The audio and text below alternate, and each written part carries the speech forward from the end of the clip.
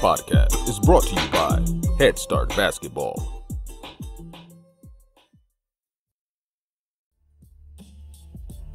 Hey, Hoopheads! Wanted to take a minute to shout out our partners and friends at Dr. Dish Basketball.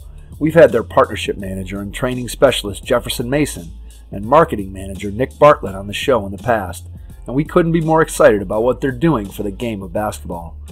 Their Dr. Dish shooting machines are undoubtedly the most advanced and user friendly machines on the market and truly accelerate skill development faster than ever. Beyond efficient reps, Dr. Dish provides training expertise and versatility designed to develop complete players.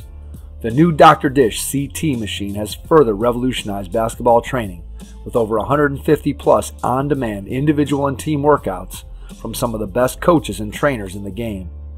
These workouts include video instruction and combine game like shooting drills with ball handling, conditioning, and agility drills. Along with workouts, the Dr. Dish training management system also provides stat tracking and analytics to track progress and ensure accountability. These are just a few reasons why top programs like Duke, North Carolina, Louisville, Florida, Baylor, and countless others are upgrading to Dr. Dish. Learn more at drdishbasketball.com. Follow their incredible content at Dr. Dish B-Ball on Twitter, Instagram, Facebook, and YouTube and make sure you mention the Hoopheads podcast to get $300 off your next Dr. Dish purchase. That's a great deal, Hoopheads. Get out and get your Dr. Dish shooting machine today.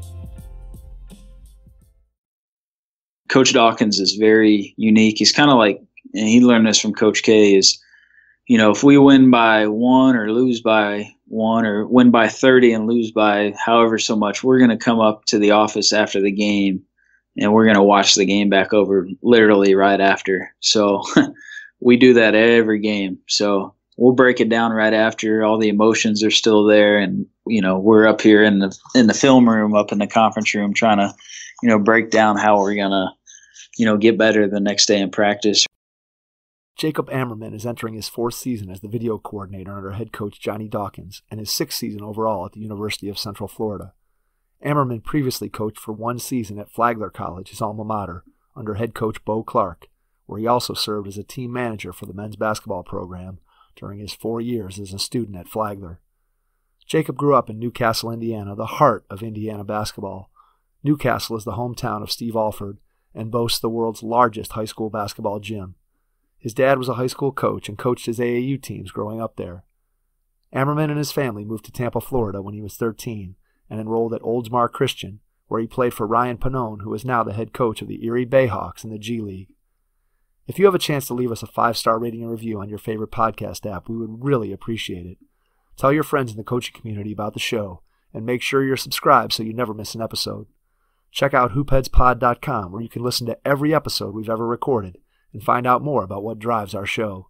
Be prepared to listen and learn throughout this episode with Jaycob Ammerman, the video coordinator at the University of Central Florida.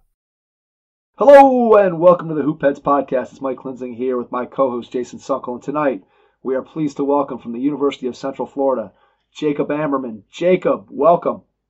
Thanks for having me, guys. I'm I'm so happy to be on here with you guys. Yeah, it's gonna be a lot of fun to dive into your backstory, learn a little bit more about how you got into coaching and the great things that you're doing now at Central Florida and with your social media. But let's start by going back in time to when you were a kid and talk to us a little bit about how you got into the game, what made you fall in love with basketball when you were younger. Yeah, so I, I grew up in a, uh, small town in Indiana, uh, New Castle, Indiana, which uh, for those that are from Indiana know that's it's kind of the heart of basketball. And for those who don't know New Castle, Indiana, it's about 15 to 20 minutes where the movie Hoosiers was filmed. So it's very close to that. I kind of grew up in the old Hoosier gym where they where they play all the games in the movie. But uh, New Castle has the world's largest high school gymnasium, and it's also the home of Steve Alford. So I, I kind of grew up in basketball heartland. Uh, my dad, growing up, my dad was a, a coach, a basketball coach, and uh, coached me and my brother. And he kind of he kind of he kind of made me love the game of basketball of how passionate he was in teaching us and you know, I remember when I was, you know, three, four years old, him teaching me how to shoot basketball. Um, at the youngest age, shooting form. We had this little goal out back. Uh, that's that's kind of where my passion started. And then as I was growing up in Indiana, there was all kinds of great high school players that I, I witnessed play from. Uh, at Newcastle at the time, there was a kid named Brandon Miller who went on to play at Butler, and uh, actually was the head coach at Butler for a little bit, coached under Brad Stevens. Uh, there was also a player named Darnell Archey, uh, who I believe is a D3 head coach now, but he's been on staffs at Butler and South Alabama and, and a couple places. But I grew up watching some really great high school basketball, and, and at that time, that's when the big Indiana Purdue rivalry was going on. So I grew up watching, you know, uh, Luke Recker, AJ Guyton uh, playing against Purdue, and, and Purdue was loaded too. And uh, just grew up in that time frame, watching watching that kind of basketball and being around it all the time and, and playing AU travel ball. I just kind of I just really fell in love with it. And from the youngest age, you know, seeing my dad as a coach, uh, that's kind of where my passion of coaching kind of really came from. Was was witnessing uh, how much time and effort he spent into uh, my brother and I uh, in coaching, and uh, he would he would drive us everywhere in the state just to just to play a basketball game, and and that, that's kind of that's just kind of where I fell in love with it right there. What do you remember most about your time with your dad? What do you remember most about him as a coach? Just the way he went about coaching you and your brother. What do you remember about that? He he was a lot harder on us than he was with the rest of the team. Uh, I, I, that's one thing I remember, and I just remember how committed he was. Like he would never he would never let my brother and I miss a practice. Um, you know, he he was just really hard on us, and and he made sure that we got our shots in every day, ball handling every day. Uh, I mean, he always he he would always pre. His biggest thing was he would always tell me and my brother that you know somewhere right now somebody's excelling in this. So he's like, if you take time off, then they're gonna just lap you. So you got to get out and put the work in. That that was his biggest thing. And that's his like motto that he always went by. So uh, that's that's the biggest thing I remember of how passionate he was, and to me and my brother, you know, becoming the best basketball players we could be. So at that time, when he's pushing you and, and trying to get you to be obviously at your best, besides doing those workouts and practice with your with your brother and your father, where else were you going to be able to get some practice in? Were you playing some pickup basketball? Were you mostly working on your game? With your brother and your dad, or just kind of talk about your process for how you went about getting better as a player during that time when you were, let's say, in middle school, high school age? Yeah, so I think I think that that kind of came with, uh, you know, I had a couple of, of, buddies in middle school and elementary school, and we we grew up just, you know, on the on this goal that my dad put in for. it. He put in a really nice goal. Uh, I forget what the name of the goal was, but it was one of those ones that had the the rim that you could hang on and and I had like six or seven friends that would bicycle over every day and we'd play basketball until it got dark. Uh, and this is back when you know kids actually played outside. If right, you know exactly, we know, we know, exactly what you're talking about. yeah, so uh, yeah, I fell in love with like we would do dunk contests, man. We would just get out there and have shooting contests, and that's and that's when I really really put the time in is because I would compete with them guys. Um, we would just compete. We would have shooting contests, and that's kind of where I learned how to love winning and stuff. Uh, we we would go three on three, two on two, dunk contests, whatever we had to do. But we were competing in some type of some some type of basketball activity almost daily.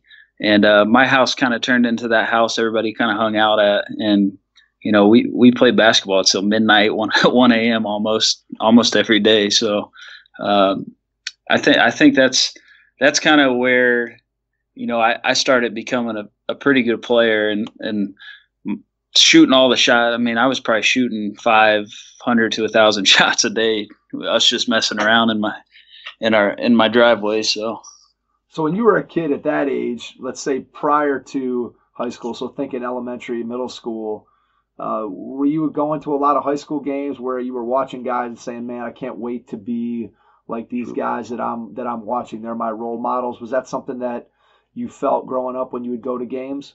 No question. I I got to see some unbelievable high school basketball growing up. Uh, I remember going to watch, you know, Greg Oden, Mike Conley. Um, when I was really little, I went and saw Jason Gardner play, who ended up going to Arizona and playing, and he had about 50 points. And, you know, I made my dad after that game. I think I was like probably eight or nine years old. After that game, I, I made my dad drive me to the gym. we got back home because I was so like I was so wowed by it. Uh, even even the high school women's basketball, we went and saw. We would go see a girl uh, by the name of Katie Gearlds that played, and she's one of the best women's basketball players I'd ever seen. And he would take me to see the women's games too. And I mean, she she had a game I went to where she had like 60. I mean, it was unbelievable out there. Just, I mean, just the competitiveness of, of the high school players. I mean, I could go. There's a long line of, of kids that I saw, but you know, watching Brandon Miller, Darnell Archey is kind of that's the kind of basketball that I really love because they had a sense of toughness, and that's that's why they were on the, the team that took Butler. To, I want to say their first Sweet 16 um, but yeah, that's that's kind of, I mean, just just a level of play in the crowds. The crowds are unbelievable. Uh, where I grew up, the, at New Castle, it seats about I want to say ten thousand people, and it's and they, they host the sectionals there, and it, it gets probably ninety five percent full, and it's like playing in front of a, a college crowd almost. So it it was just a another level of, of high school basketball. Yeah, for sure. We talked to Jason Zimmerman from Emory, mm-hmm. and he talked about growing up in Warsaw and the fact that people were so into the team as a high school team that you know his crowds when he were in high was it when he was in high school were bigger than when he first got to Davidson. You know, he goes here I here I am playing Division One basketball, and the crowds are smaller. There's less people that are, you know, that are invested in it. At least at that again, at that time, Davidson basketball yeah. at that time wasn't what it is now. But he was just saying that, you know, the people would ask him, "Hey, did you feel pressure when you got to college?" He's like, "No, not really, because when I was 15, I had." You know, 70 year old men walking up to me in the street saying, Hey, how could you miss that shot last night, you know, on Friday night in the game? So it sounds like your environment was pretty similar to that. Oh, it's, like, it's one, it's like something you see in a movie where, you know, the barbershops close, everybody's at the game kind of thing. Like everything closes down to come to the, the game on a Friday night. So, uh, yeah, it's it's just like that. Warsaw's got one of the biggest gyms too. I mean, their gym their gym's huge, but it's just like that. It's like like watching Hoosiers, how everything shuts down. It's it's just another it's just another level of basketball. You you can't get it anywhere else. Indiana basketball is I mean it's it's incredible. Yeah, when you have that kind of support for high school basketball, I think there's there's nothing better as a player when you get to play in that environment when you're playing in front of big crowds, especially mm-hmm. when you think about it, a high school player, you know, if you're a sophomore or junior, you're 15, 16 years old, getting an opportunity to play in front of six, seven, eight, nine, ten thousand people. I mean, that's got to be a huge, huge thrill. What do you remember? Can you think pick out you know one or two maybe of your favorite memories that you'd share with us from from your time playing high school basketball? Yeah, uh, one uh, I think one of the biggest is I wanted the district championship um, my junior junior year of high school, and it was kind of very special moment just because nobody nobody picked us to do anything, and we and we stole a game.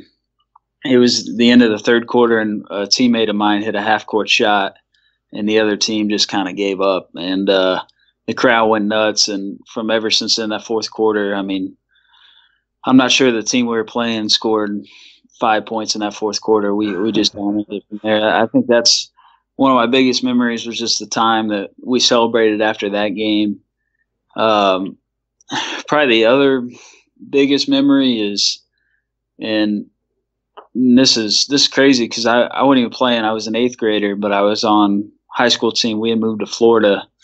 Uh, I was playing Oldsmar Christian, and I was just on the roster. And my brother was actually on the team, and we were playing in the regionals. And um, my brother hit such a big shot, man, and I was it was it was so big, and it, actually helped us go to the regional championship.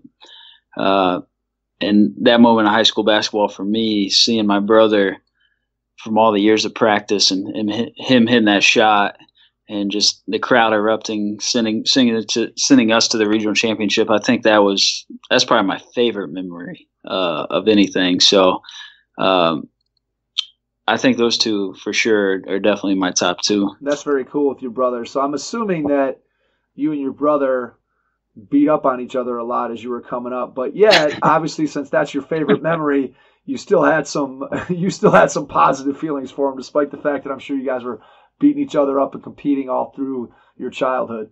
Oh, no question. I, I definitely pestered him, and uh, luckily he didn't beat me up too much. Yeah, I mean he's he's four years older than I am, so he kind of, I mean he kind of kept it easy on me a little bit.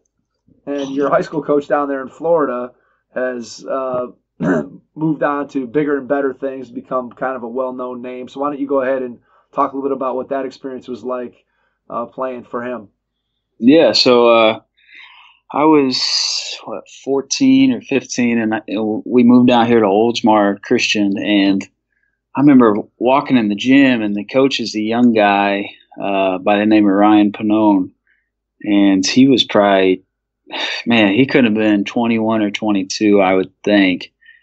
And I remember just being so impressed by how much he knew of the game and how passionate he was. And I, I knew at the time he was going to be a heck of a coach and I play I played for him for a couple years, and just his attention to detail, um, offensively, and holding kids accountable.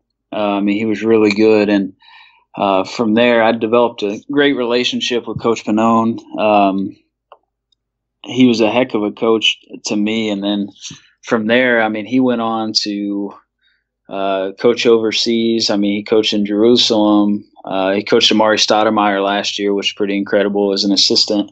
And uh, this summer, he got the chance. Um, the Pelicans affiliate, the uh, Erie Bayhawks, hired him as the head coach, and I actually got to spend a lot of time with Coach Pannone this summer uh, out in out in Vegas. Um, he actually he let me stay stay with him out in Vegas. He's he's uh he's he's a heck of a coach, man, an even better person. He taught me a lot of core values out and he's the type of guy you can call any any time of the day or night. He's going to answer and he's going to talk basketball with you. So I, I had such an in, incredible experience with him. And you, like I said, you could tell at 21 or 22 he was going to be a big time coach. I mean, he was just he was one of those guys that number one he studied the game. Number two, he's a heck of a heck of a communicator and number three, he he actually he really loves his players, and he's going to invest all his time in the in them. So, uh, like I said, you just tell he's going to be successful uh, from a young age. So, if you think of your time with him, you mentioned a couple things there, but can you give us maybe one or two specific things that you took from him that you still use today as far as your own coaching? Something that, or maybe something you filed away for if you ever get a chance to you know run your own program or be a head coach? Is there anything that you can point to from Coach Pannone that you, that you quote stole from him and that you kind of have in your back pocket that helps to make you a better coach? Yeah, I mean he's taught me a lot of things and from different stages of of my career so far. So I think the most recent thing, you know, when I was a GA. Um, he told me to go out and invest in a in a hard drive, and I think that that actually really helped me. Um, so he wanted me to invest in a hard drive because I was around some great coaches, and he said, "Man, you need to store everything on that. Anything you come in contact with, uh, whether it's a document or a video or a play of any sort." He's like, "You need to keep all that stuff." And I went out and did that. It's actually, I mean, it helped me to this day. Um, you know, it's helped me come to the table with different ideals just because I had some stuff stored from previous coaches or you know maybe I had a video of a play that I thought we should run and I could find it on there but I thought that was that was really good that helped me out a lot and then as a coach I mean he he really taught me how to hold kids accountable I mean he was he was really good at that um, if we came in with you know poor effort I mean we were getting put on the line we were running teams um, I mean, he was he, he just showed me that there's a way to be really tough on kids, but you know, you can still have a great relationship with them. I think that was one of the biggest things he kind of showed me. Um, but yeah, I mean, it, he was he's such a good coach, man. I'm like I said, I'm not surprised where he's at right now. I think I think one day he'll be coaching uh, level up. So I think I think he's that good. So how did he build? How did he build a relationship, maybe specifically with you, and then maybe more in general with you know your teammates and other guys mm-hmm. that he was coaching? That then in turn allows him to coach the guys hard and hold them accountable. Because I think those two things mm-hmm. really go hand in hand. When you can build the relationship first, and then your guys know where you're coming from when you're a coach and you're pushing them, they kind of mm-hmm. understand that hey, coach cares about me. He wants me to be at my best. And yeah, what he's asking me to do is tough, or he's holding me to a higher standard than maybe I might hold myself. But that relationship is what you fall back on. So how do you build that relationship with you and with your teammates? I think I think the biggest thing with him that I, I really remember was just he was always around, and he was he was working like every every second he was around. Like I just remember getting out of school and he was there, and he would stay I mean, he would stay. We would go through conditioning. He would stay with practice. I mean, he didn't really have a life outside of uh-huh. coaching us. I mean, right. he was always there, and he wasn't. I mean, it wasn't just straight basketball with him. It was, and I think that's what led him to be able to hold us accountable. The relationship was there because we had a relationship. It wasn't just basketball. I mean, we would talk about other sports. Uh, I remember. Yeah, I mean, Ryan's a he's he's he's kind of comedian. He's a funny dude, so he's always joking around, messing with us, and um, I think I think those those were key. It, it, wasn't just basketball. It was it was life. It was sports. And, you know, it was cracking jokes, um, and then obviously from you know witness witnessing him, you could just see, like I said, how hard he worked. I mean, I mean from from like putting in plays to studying the game. I mean, he was always bringing something new to the table. Um, his drills, his drills were ahead of their time. Really, like I see. Uh, I mean, I remember him doing a couple drills then that you know that I had never seen before, and now we're still doing them today. Like he, he's an unbelievable teacher. I think I think that's the biggest thing for him. He's he's really good at teaching the game. What do you think makes somebody, just a general question, what do you think makes somebody good at teaching the game? When you look at a coach and you walk into a gym and you're watching their practice or you're thinking about for yourself trying to become a better teacher of the game, what do you think makes a good teacher of the game? What is it about a particular coach that makes them makes them a good teacher? I think I think uh, you know I I think you got to be a really good communicator. I think that's key, and and you got to know who you're you're teaching to. A lot of a lot of kids learn differently. Um, obviously, some, some kids are better visual learners. Some some kids are better where you you know physically show them, or some kids can just hear it and do it. Uh, I think you got to know your audience. Uh, you got to be able to communicate communicate it clearly, uh, and you got to have a good knowledge of what you're doing. I mean, you got to the kid the players are going to know if if you're just kind of BSing them. So you you gotta you gotta have a good grasp and put the work in early and, and kind of know what you're talking about. But I I think those are some key things. But the real thing is is the players got to respect you and believe that what you're telling them is is is what's going to help them to become better. Um, if if they just think that you're you know you're doing it for the wrong reasons, then they're not going to buy into it. So I, th- I think communi- communicating, knowing your audience, uh, having a great knowledge, and I think the relationship uh, is, is kind of what sums up being a good teacher. I, I think all those things are key values that they need to be able to trust that what you're saying is for their best benefit and not just for your benefit kind of thing. So they got to buy into it. Yeah, absolutely. I couldn't agree with you anymore. I think what I heard you say is one, you've got to put the time in to understand a understand the game so you know what you're teaching. Mm-hmm. B you have to put in the time, not just studying the game and studying those X's and O's and studying techniques and fundamentals, but you also have to put the time in with the players, and that's building relationships, not just on the basketball floor, but as you said, talking about life and asking them about what's going on off the floor. And so those are two elements of time. And then the next thing you mentioned was credibility. And I think credibility comes from what we just described there, which is did I put the time in to know what it is that I'm trying to teach? So do I understand the game? Do I understand the fundamentals? Do I understand how it's going to impact my players? And then I also have credibility when the players know that I've put time into them, not just as a basketball player, but as a person. So you combine all those things, and now you put in the time. That gives you the credibility.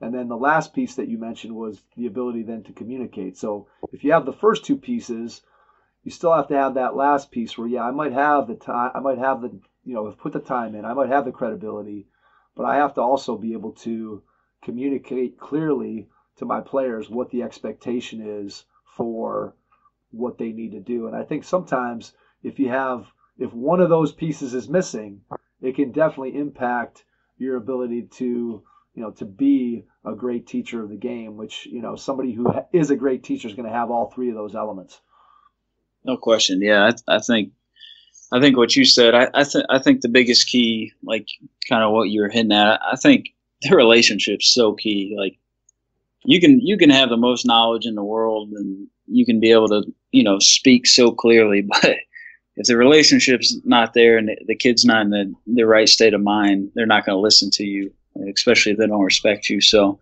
you got to do your work early and build that foundation of trust uh, and that starts with you know spending time with them outside of basketball or you know having them come in the office and just talking about life. I mean it, it just can't be all x's and o's. Uh, or it's going to be tough to tough to have the kids full attention really. I mean obviously it depends on the kid but i mean and the kids that i work with and the kids that are on our team it's it, it can't just be basketball. It's got to be you know you got to take you got to take into account everything that's that's going on uh, in their lives, from family to academics to their stories and, and all that other stuff. I mean, th- those things are so key into into teaching a kid and, and helping them become better. So, how do you? Let's jump ahead before we jump backwards, but let's just go to your current role since you mentioned it there. So, at University of Central Florida, what are you doing on a daily basis to help? How do you get the time? How do you find the time to build those relationships with kids? What what exactly are you doing day to day? Obviously, Johnny Dawkins is the head coach, and he's got his ways and things that he can do to build relationships. Mm-hmm. probably get into, but for you and your role on the staff, how do you go about building those relationships with the players?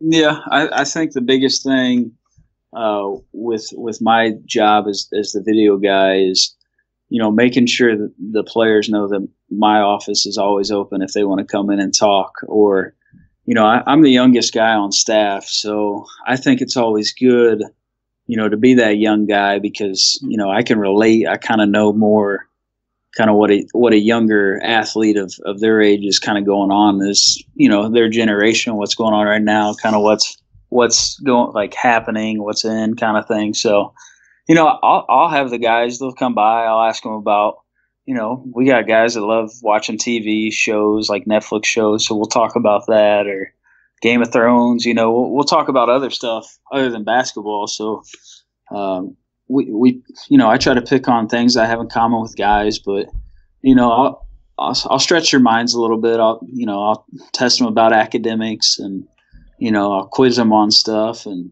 you know, I, when a kid comes into the office, I, you know, I try not to just be all basketball. But uh, other ways I do that, you know, we just took a trip to Spain, uh, so it was a good foreign tour, and I got a chance to, you know, eat dinner with a couple of them, uh, take them out to dinner, you know, take them to lunch.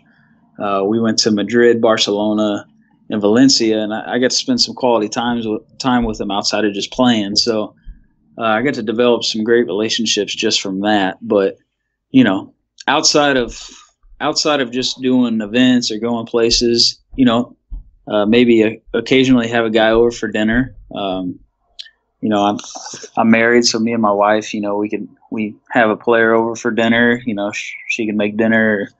You know, th- there's all kinds of ways that I do it. Um, but the main thing is, you know, when when they come in the office, you know, just taking that time and really you know, focusing on just a one-on-one conversation with them, really, and uh, they love it. I mean, you know, I tr- I try to be the one that always asks questions and to them, so they, you know, I kind of understand what's going on in their lives. Yeah, it's such a huge and important piece of conversation. We all know that we've met people who just talk about themselves, and you can have yeah. a, you can have a we've we've all been at that dinner party or out somewhere where you meet somebody and you talk to them for a half hour, and you might ask them twenty questions, and they talk the whole time and never ask you one thing about themselves. And yeah. after you get done with that conversation, you know that you're never going back. never, Coach, Coach, Dawkins says a great saying about that. That God gave us two ears and one mouth for a reason. Absolutely, so. absolutely. And I think it's you know it's funny because we all can. I'm sure just anybody who's listening. I'm sure as we're saying that there's there's a memory that pops into people's heads of oh yeah I remember that first time I met that person who you know who they have in mind that is that way. And so I think to your point, when especially with you know you're talking about coaching whether it's college athletes or you're talking about coaching high, high school athletes or middle school athletes, when you take the time to listen to somebody and ask them questions to give them a chance to talk about themselves. I mean, we all love to talk about ourselves. I mean, let's face it. Uh, there's no question that we like to be able to share the things that are important to us and and share our story. But by the same token, I think that the best communicators often are the people who are the best listeners because they're able to ask questions that really probe deep into somebody uh, and help them to be able to understand how much you care about them. And that, as you've said multiple times already, that that relationship that you build with players is really what allows you to get the most out of them, not only as a basketball player, but hopefully have an impact on their life, you know, far beyond whatever they get from you as a, as a basketball coach they're going to get that from you, and that's going to improve the quality of their life five years from now, 10 years from now, 15 years from now. As you've listened to the Hoopheads podcast, one common topic that continually comes up in our conversations is character. I'm fortunate to be associated with the Positive Coaching Alliance, a national nonprofit movement that provides valuable tools, training, and resources for coaches, athletes, parents, and administrators that is centered around sports and educational psychology and organizational behavior research. PCA combines this research with practical advice from a national advisory board of top pro and college athletes and coaches who utilize PCA principles at the highest levels of competition. Through a partnership with our local Cleveland chapter of the PCA, we are pleased to offer a discount code to allow you, our listeners, to take a PCA online course for just $20. To take advantage of this offer, visit the store on positivecoach.org and enter the discount code HoopHeads20. That's HoopHeads20 with two capital H's. Coaches, I hope you'll take advantage of this great offer from the Positive Coaching Alliance and help us continue to grow the game.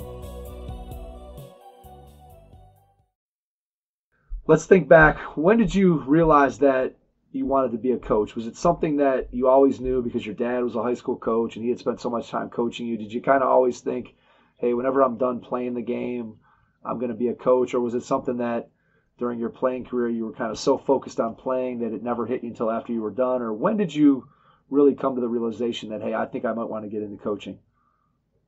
Uh, I, th- I, think I knew from a, a, young age. I mean, I, I knew I wanted to be like my dad.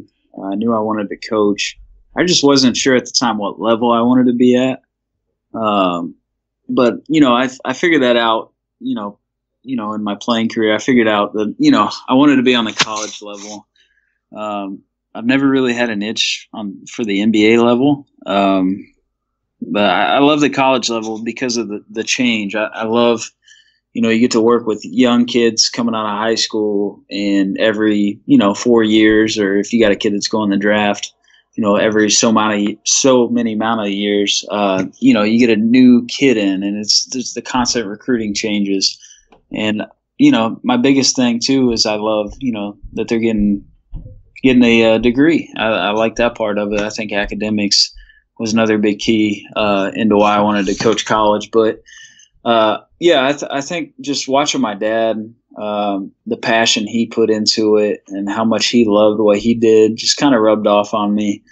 Um, I think the that and the love of the game, um, and then just the coaches that I had just really I never really had a bad experience with a coach. I mean, all the coaches that I had just made me want to coach, and I think that's that's a huge thing. Um, you know, a lot of times you hear kids growing up and they have a bad experience with the coach or whatsoever. I, I just never have had that. I've I've learned something from every coach that I've had, so it just kind of made me, you know, want to get in that profession, you know, of, of what I've learned from the coaches that I I've had, um, and that's kind of just what made me uh, want to become a coach. And you know, college has always just been so intriguing to me. Um, you know, I, I worked a lot of uh, camps. You know, when I was in school, uh, were Indiana's camp, which was which was awesome. I got to Tom Crean was was coaching at IU, and I went and worked their camp, and you know, you just learn so much by other people's programs, and I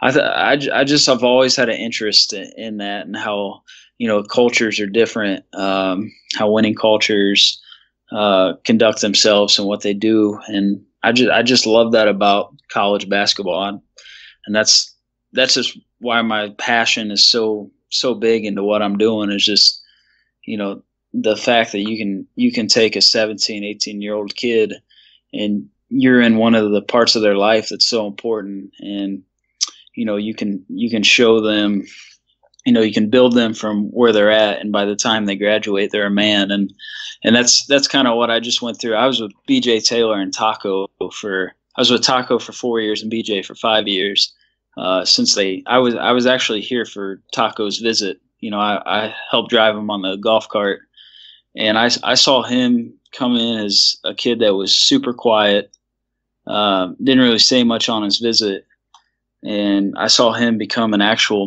man. I mean, yeah. he's a confident dude now, and you just see those changes in their life.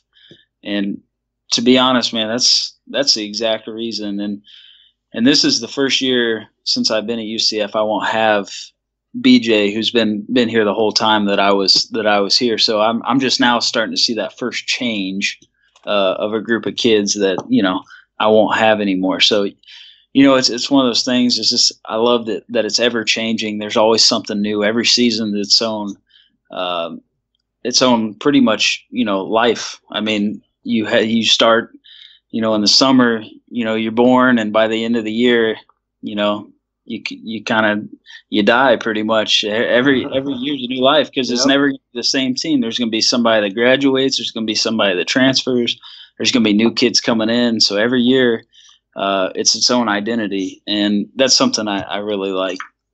Yeah i would think that that would be something that would be very very appealing in that you always have to sort of figure out okay how do we put this how do we put these puzzle pieces together? And you know yeah you may have your overarching philosophy as a program and as a coach but ultimately the best coaches are able to within the framework of their culture they're able to create a situation that puts their team and their players in the best possible situation to succeed. I want to ask you a question about was something that you said there which i always find to be pretty interesting which is the fact that there's all different ways to develop. You know, we talk about winning cultures, and there's so many different coaches out there that don't do it the exact same way, but yet if you describe what they're doing, you would say that's a winning culture when they may not have the same way of going about getting to that, but they ultimately end up at the same place, which is success, however you want to define that, whether that's one loss record, whether that's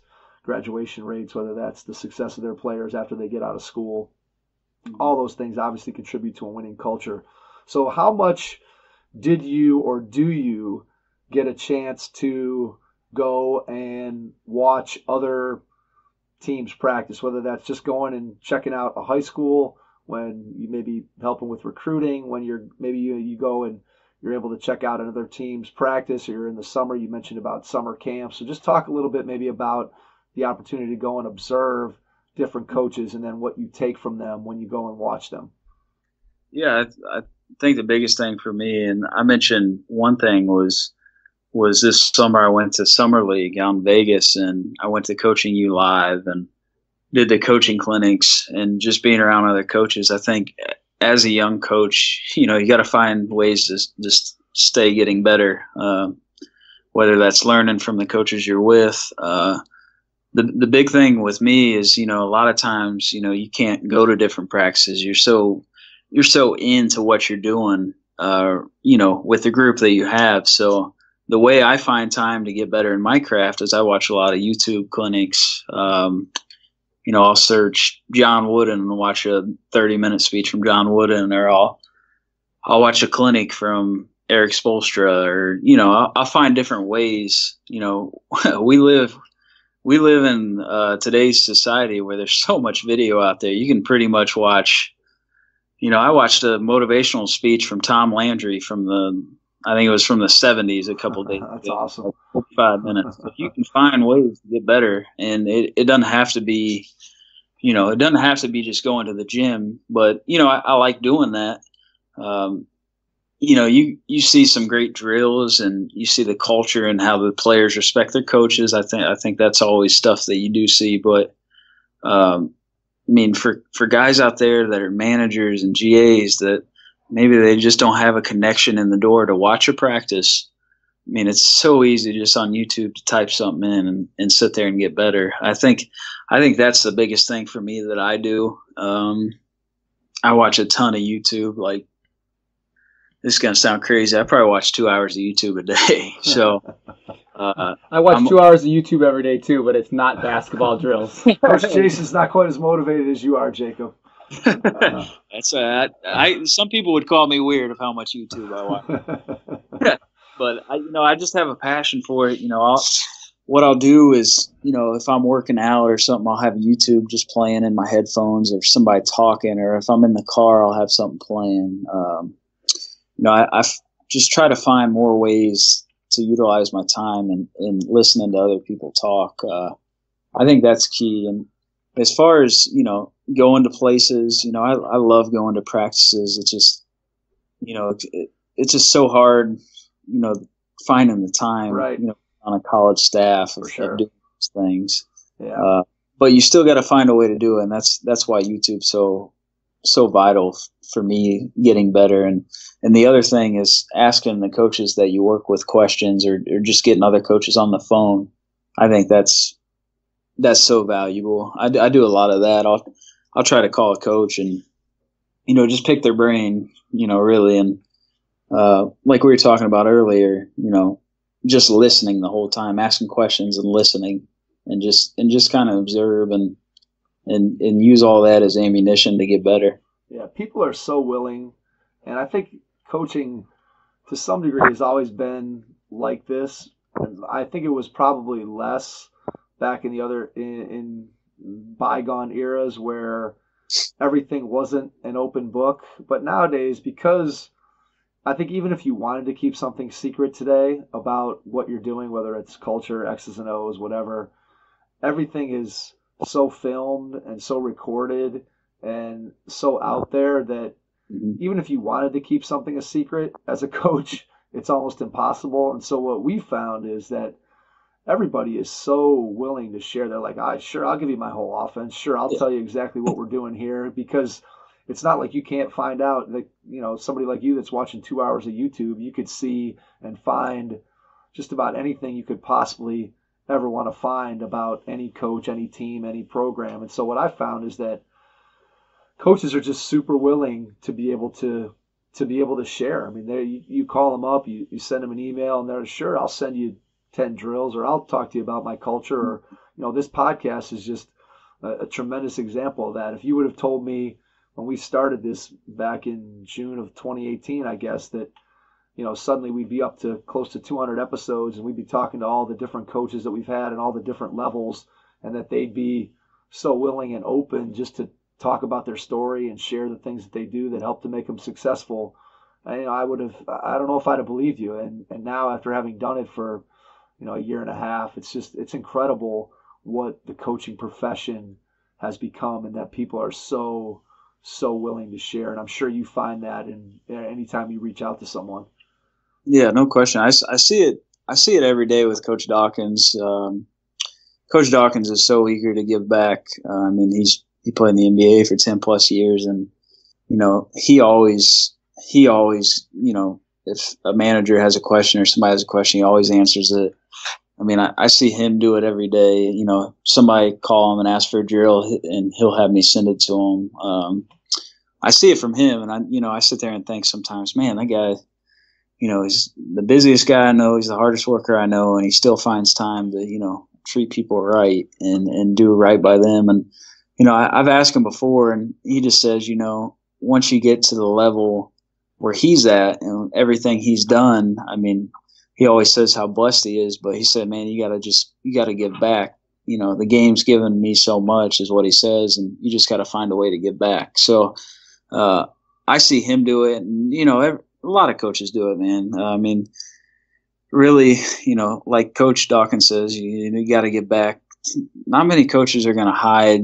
You know, you know that everybody in this profession is is continuous learners. Really, they're always trying to pick new new ways to get better and learn. So uh, it's crazy. You know, when I was when I was searching for a job, you know, I was trying to get better and everything, and I, I was kind of defeated, thinking, man, I, I don't know who to ask. I don't know how to get in the college basketball. And I started reaching out to people and just sending emails or sending handwritten letters. And what I found was there was head coaches that wrote me back with advice. I mean, people want to help you. Um, you know, every, everybody has has their journey of how they started and you know if if you just take the time to you know write letters or, or, do send emails or do stuff like that or maybe just show up and you know ask a question people are going to try to help you i mean if they see you're committed and you really want to do something you know they're they're going to try to help you yeah for sure it goes back to what you talked about with players if somebody sees you putting in the time mm-hmm. which again could be as simple as writing an email could be as simple as writing that handwritten thank you note when you get an opportunity to talk to someone could just be reaching out to somebody who maybe doesn't have people reach out to them very much. You know, you think about a high school coach, and there may not be a ton of people reaching out to them. But if you see something interesting or that coach inspires you in some way, and you reach out to them, people are going to be willing to be able to share. And I think that's it's just a great thing about the coaching profession. It's a great way, as you said, to learn. You want to be able to take and not necessarily always have to reinvent the wheel, but just go out and look at the people who have had success mm-hmm. before mm-hmm. you, see what they're doing, study what they're doing, and then take the things that you feel best apply to your program, your situation, your coaching style. Because obviously you can't copy everything that every successful coach does because all of our personalities are different. So you got to be able to coach to who you are. Because as mm-hmm. you said earlier, you know, players sniff that out when you're not being genuine and when you're not credible. So mm-hmm. when you find things that you can take and steal and like your hard drive story, when you start putting stuff away that then you can incorporate into what you become mm-hmm. as a mm-hmm. coach, I think that's the key to being to being successful. When you yeah, no, of, go ahead. No, I was just gonna I was gonna piggyback off that. You gotta you gotta have your own identity for sure. I mean, you can't just you gotta have your own plan of your own culture. And you know, I'm not a I'm not a head coach, but I'm thinking about when I am a head coach, what I'm going to be able to do and what I'm going to take from the stuff that I've liked or stuff I don't like. You got you got to have that mindset always of how are you creating your culture that you want to establish someday. I mean, I always think about that of how what identity I want, how I want my team to play, like all that stuff comes to my mind, and uh, that's why the hard drive stories that I told you so key is I can store that stuff and you know, if say I think of something, I, I have this, you know, file that I write little notes in, you know, stuff that I would want to implement. And I think that's key for a young coach that's really serious about one day being a head coach. Um, you know, to store all that stuff away so you can go back and read it and, and take notes on stuff you like and maybe stuff you don't like. And then, you know, someday that's just when you get that head coaching job, you can sit back and read it. And you know that'll help you you know kind of build your culture a little faster. So your file is all electronic? Everything's electronic. I have it i have it on a hard drive and i have it saved in dropbox just in case my hard drive st- stops working understood. so, so let's yeah. say you're so let's say you're out so you're so you're out somewhere and you want to make sure hey i i got to make sure i remember this are you just putting that in through your phone how are you what's your, what's your method for oh somebody oh who's out there so, who's try, somebody who's trying to figure out all right, how do I how do I take notes? How, what kind of system do I set up? Tell us what your system is So maybe somebody who's just getting started in the business and wants to start compiling that list of notes and those things that they want to make sure they do. Just explain your system for us. So yeah, so the iPhone's so great. So I just so I just opened up my iPhone. I have 1,687 notes saved. so I'm a very I'm a I take a lot of notes in my phone. so from stuff that I hear on the the motivational talks I talk about on YouTube or you know little ideals that I have, I save everything. Uh, and I learned that I learned that from Coach Dawkins. He does that same thing. He'll he'll prepare for our meetings, uh, our film sessions. He'll write his notes in his phone, and I, I kind of learned that from him. Um, I have a, I mean, there's there's so much so much notes in these. I'm kind of flipping through them right now, but uh, you know, it's just it's just an easy way. You know, you know how you know you get a you're at the gym and you think of something really good, and you're like, man, I got to write that down. So it's just an easy way. Just open up your notes, write it down. You know, maybe you don't look at it ever again. Maybe you do. Maybe you go back and read it. But at least you have it. You know, someday to to kind of jog your memory of it. So do you pull it then off your phone into into the hard drive, or does it kind of stay on the phone until you go back and relook at it a second time and say, "Hey, that's something I want to keep"? Yeah, so if it's a coaching I do, I'll, I'll re-enter it on the on the Word document for sure. Um, a, a, lot of times it's motivational stuff that I kind of use, um, you know, for my Twitter or um, just stuff that I want to keep, or you know, it's usually it's usually the motivational stuff, but I have a coaching idea. I'll write it in there, and I'll I'll go back and, and put on the Word document for sure. Gotcha, understood. All right, let's move backwards in time for just a second because I want to ask you this question. I think it's always an interesting one. If you think back to when you transitioned from your playing career to your coaching career, so your first quote real coaching position was at Flagler, where you had gone to school, correct? Yes. Yep. All right. So you transitioned from player to coach. What's that experience like? What was maybe different than what you expected when it came to being a coach at the college level? Was there anything that maybe was surprising to you that you hadn't realized that coaches either did or maybe you didn't realize they spent as much time doing something that you, you didn't realize that when you before you got into before you got into coaching? Yeah, I think I think the toughest part for me uh, when I first got that job was, you know, I was probably, I think I was 22, 21, 22. I think it was hard for me uh, understanding how hard it is to hold kids accountable when you're only that age as a right. coach. I had to learn to be uncomfortable um, in that sort of way. Um, the other thing is is money. Uh, as a D two assistant, you know, as a second assistant, you don't make a lot of money. So I had to learn that, you know, uh, coming out of college, you know, you don't really know much about money. You have parents that help you, or, you know, you have a job.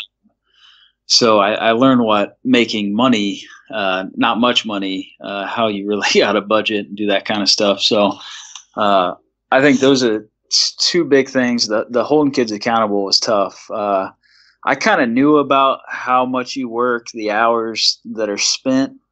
Uh, but what I didn't realize, especially on the D2 level, is uh, you're doing everything. Um, you know, at a, at a D1 level, you have video and ops and all that stuff, the support staff that does kind of all the little things.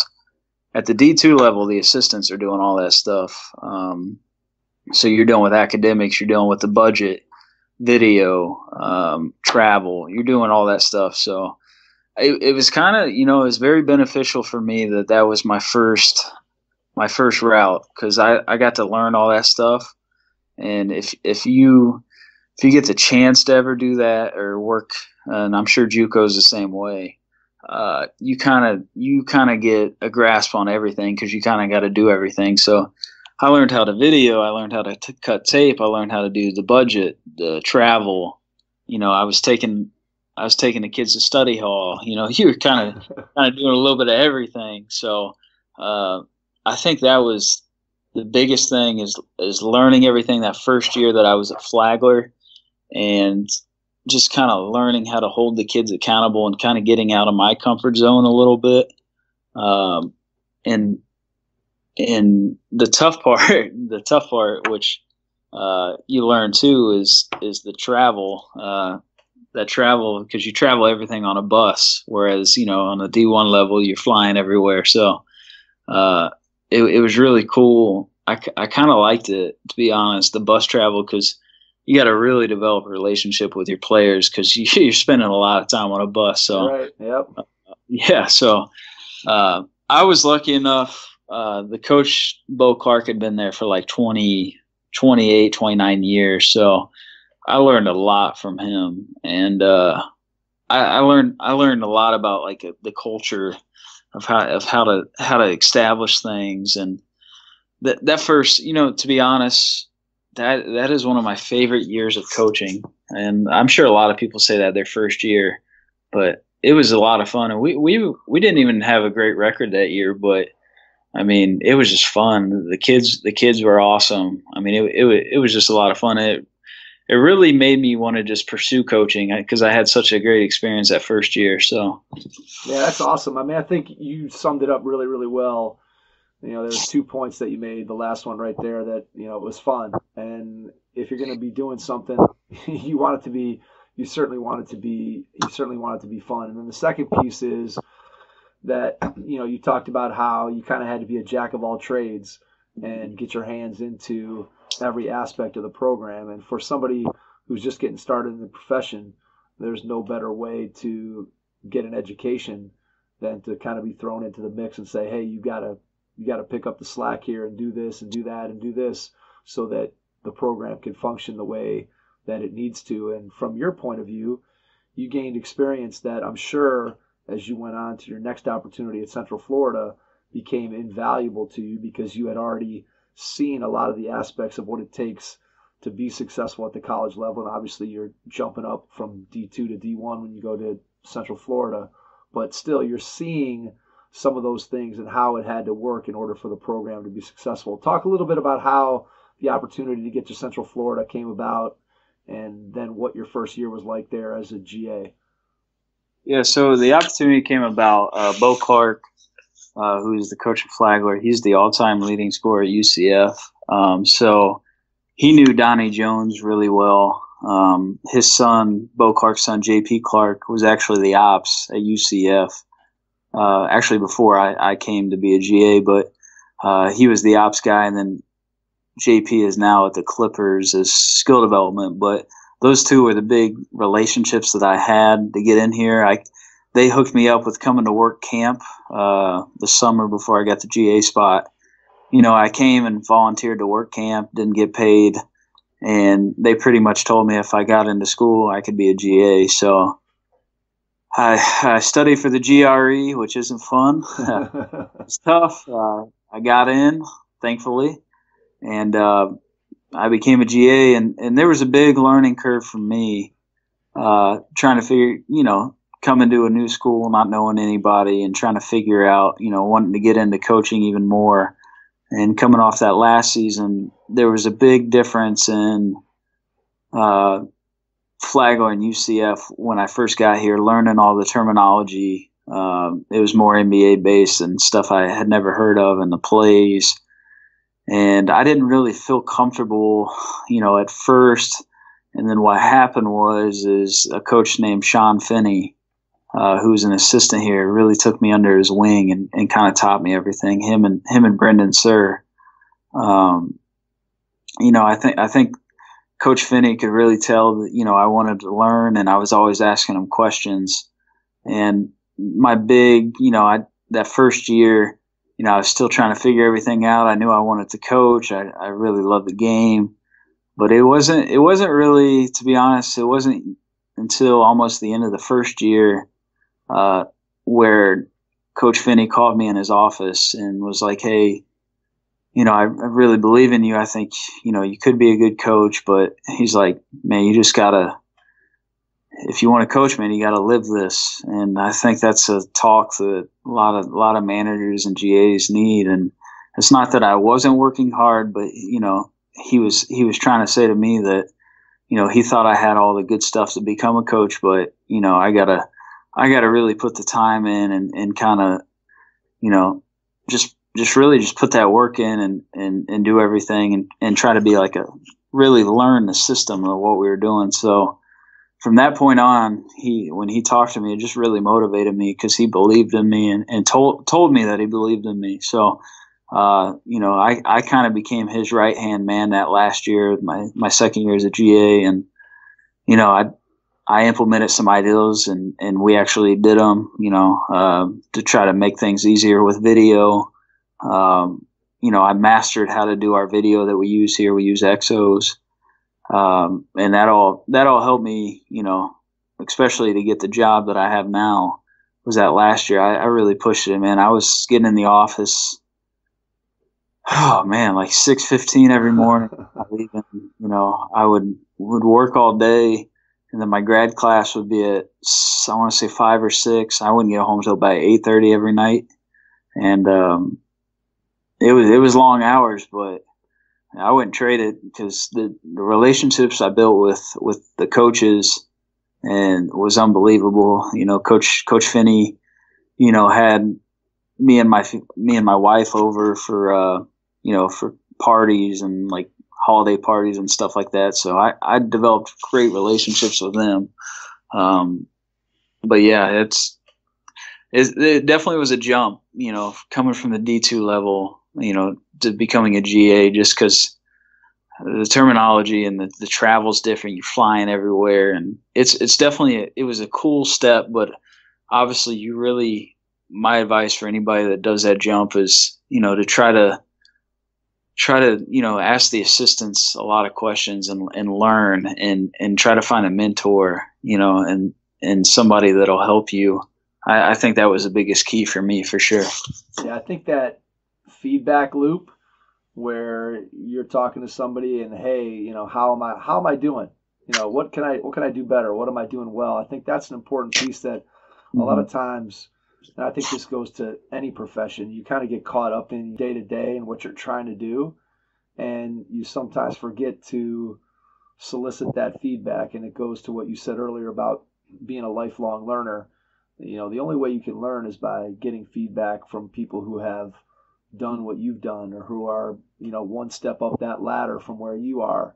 And when you seek out those people, as you mentioned, then you're able to take the knowledge that they're there to impart to you, and then you can apply that into your own situation. And I, I, I always find it interesting when we talk about, you know, especially on the college level, when you're breaking into college coaching. You know, everybody sees, you know, the glamorous guys who are at the top in the NCAA tournament and they're making millions of dollars.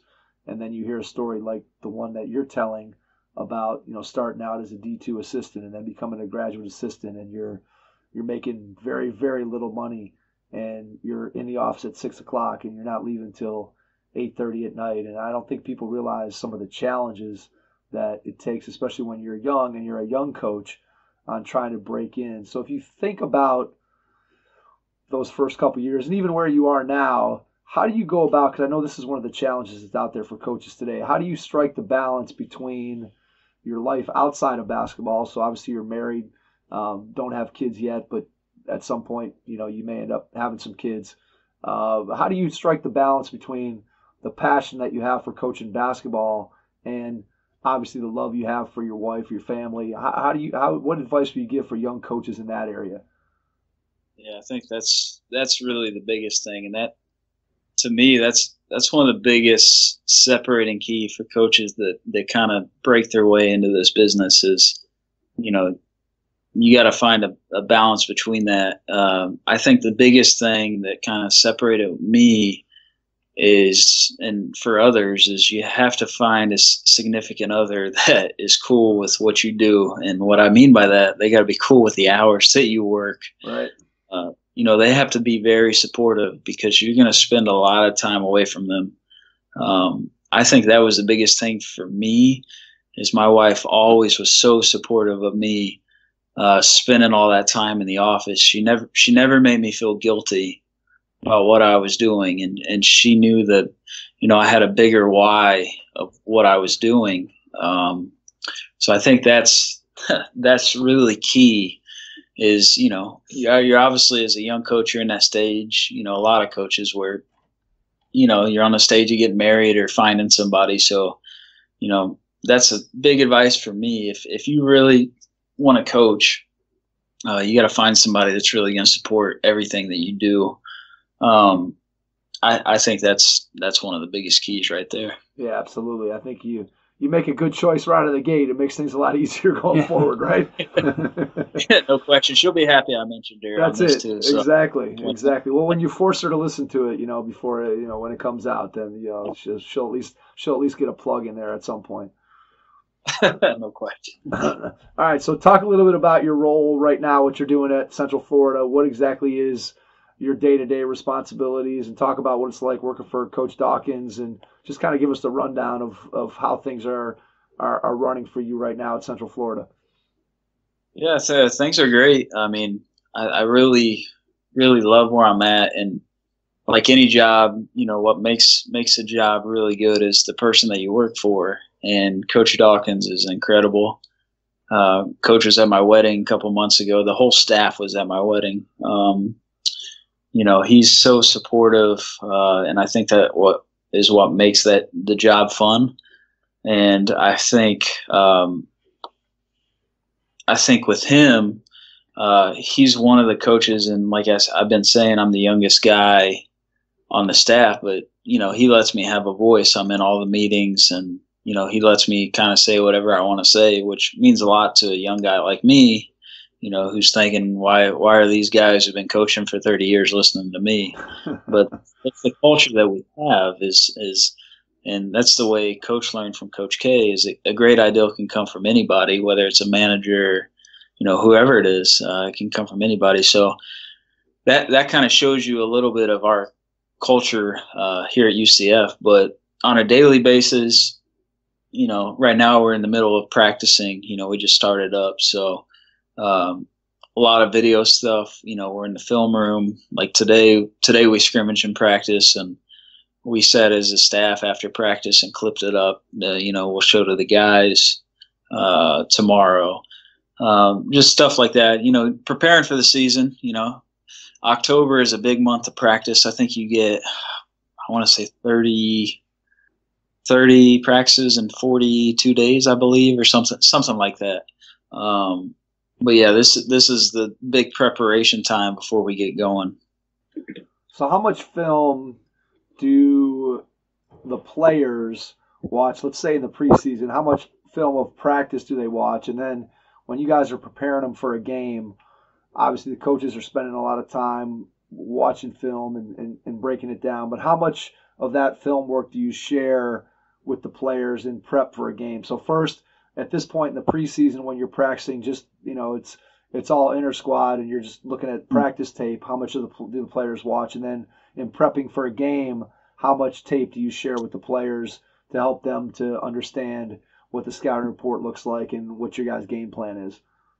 Yeah, I think I think it changes for your personnel. Like some some teams have guys that you know really really love watching film. You know, you got guys that really learn visually, and you know, some some teams maybe have guys that it doesn't really translate to, and you gotta, or they learn better when you bring them one on one. But as a as a team, we we watch a lot of film. You know, we watch practice clips almost every day.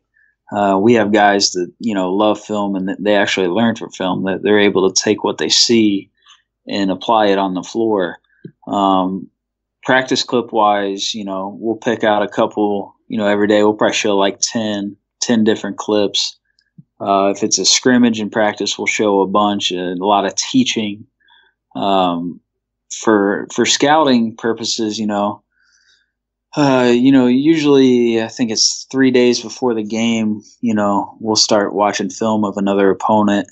Um, you know, personnel, offense. You know, that's man and zone, based on out of bounds. You start watching that kind of stuff. The defense.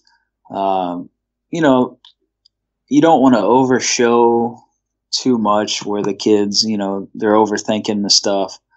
Uh, you know, because once you tip off the ball, you know, it's you got to play. You know, you want to, yeah, you want to play to your standard, and you know, obviously, you want to know those key things about some of the personnel, and maybe see a play coming or something. You know, you can't you can't teach the kids every play that you scout. So, um, you know, you can teach how to guard actions and stuff like that, or guard certain type of screens, but you don't want to over, you know, pile their brains with stuff. So we don't we don't try to show them too much scouting stuff.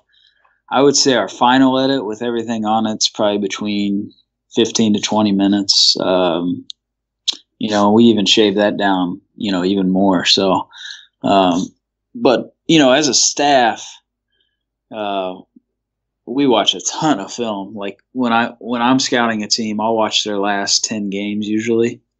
Um, you know, even if it has to date back to last year, um, I, I, watch a lot of film. And and Coach Dawkins is very unique. He's kind of like, and he learned this from Coach K. Is you know, if we win by one or lose by one or win by 30 and lose by however so much, we're going to come up to the office after the game and we're going to watch the game back over literally right after. So we do that every game. So we'll break it down right after all the emotions are still there and you know we're up here in the in the film room up in the conference room trying to you know break down how we're going to you know, get better the next day in practice or what clips we're going to show or how we're going to play the next opponent. Or we do that. And, you know, some nights, some nights we play at seven, game ends at 930. We're in here till like 3 a.m. So, um, coach, coach loves film. I mean, we, when I say we watch a ton of film, I mean, I, it's,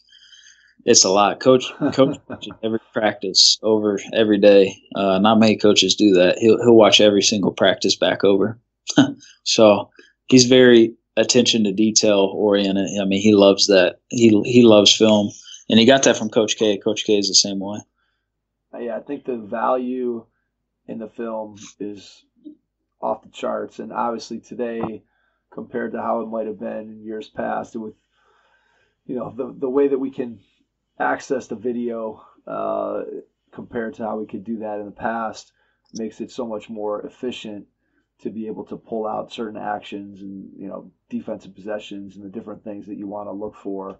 So as you guys describe sort of the for lack of a better term the assembly line of how the film gets processed so that uh, it's ready